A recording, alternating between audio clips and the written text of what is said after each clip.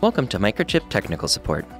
This video covers the preliminary debugging techniques that you can use to determine whether an issue is software related or hardware related. Because the complexity of applications can vary, it is important to document the precise conditions under which the issue occurred, including the number of times you encountered the issue. You can apply the following isolation techniques with devices running simple firmware applications and even complex embedded operating systems. Sometimes the problem can be a simple connection issue, so we recommend starting with these hardware isolation techniques unless you know the issue is observed in software. The following are the techniques that you can employ to determine if an issue is hardware related. First, you can verify hardware connections. Verifying hardware connections involves checking the external connections, such as cables and wires, board to board mating contacts, and printed circuit board, or PCB, traces. Check for loose connections and incorrect connector orientations, as well as jumper configurations. Ensure that accessories like cables match your desired requirements. Keep cables and wires as short as possible. Make sure the PCB traces are connected and are following the specifications listed in the official documents like datasheets and user guides. Follow the connection guidelines when using tools such as programmers, oscilloscopes, and logic analyzers to minimize any effect on the target device. Inspect for manufacturing related issues like cold solder joints, damaged pins, and cut traces. Second, you can check the parts used. To isolate where the issue is coming from, you should check the part numbers of the devices used make sure that the part chosen in the development environment matches the physical device. Device documentation is normally available on our website. Using the datasheet, you can check if the electrical parameters are within specification. A microchip device may exhibit unwarranted effects if any parameter is out of the specified limits. Be sure to check any related errata documents, which summarize silicon issues and the available workarounds. Third, you can simplify the setup. Another isolation technique is to simplify the setup, which is done by removing any unrelated connections and devices, as well as disabling the peripherals not related to the issue.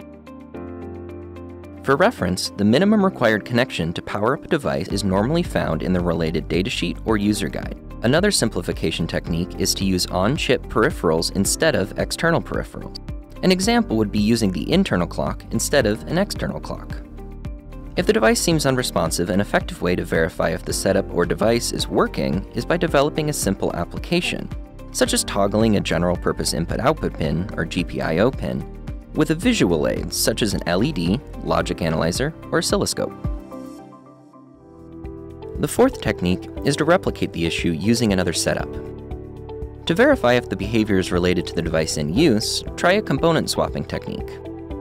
This technique involves physically installing the suspected device to a board that you know works. It could be another prototype board or an evaluation board from Microchip. In this way, you will know whether the suspected physical device is the root cause or not. If you need to use a new prototype board instead, use only the minimum connections required. You can find available development tools and evaluation boards on our website. We strongly recommend having at least one development board on hand for this express purpose to get you back to development more quickly. Many times, the problems are caused by test equipment. Testing with another host computer or using another programmer can help isolate issues caused by such equipment. The fifth technique is to use debugging tools. There are several distinct types of tools you can use when troubleshooting. A digital multimeter, or DMM, is a great tool for checking continuity, DC voltages, currents, resistance, and sometimes even capacitance. However, a DMM is not always sufficient for finding the cause of an electrical problem. Additional tools may be required. If you're performing communication protocol analysis, you might need a logic analyzer, oscilloscope, or a protocol analyzer. These tools provide real-time visibility into the communication signals of your embedded system. With these tools, you can verify bus traffic, signal integrity, and data validity for communication protocols such as USB, I2C, SPI, CAN, and UART. Before performing any type of verification or protocol analysis, make sure your test equipment is properly calibrated and configured. By following the hardware isolation techniques, you can catch most of the hardware-related issues. If you still cannot catch the issue, it is prudent to perform the following software isolation techniques. There are several techniques you can use to determine if the issue is software related. The first technique is to change the development environment. To isolate software issues, test using different released versions of the utilized software.